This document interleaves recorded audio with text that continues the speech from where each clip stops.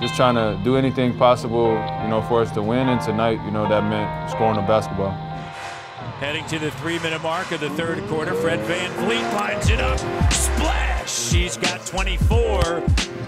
Fred with range on fire.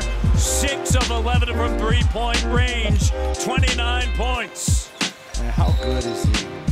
Shot clock down to three. Fred Van Like it ties the game at 87. Like I said, Matt, just give it to Fred. Get out of the way.